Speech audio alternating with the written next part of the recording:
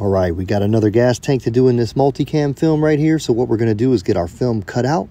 And once we do that, we'll transfer it over to our dip tank and on top of the water. It'll sit for about two minutes. We want all the water underneath the film, not on top. I did get a little bit on top, but it'll be all right. Check out this little heartbeat right here. Super crazy. Now the film has sat, we're gonna activate it and we'll dip our tank on through.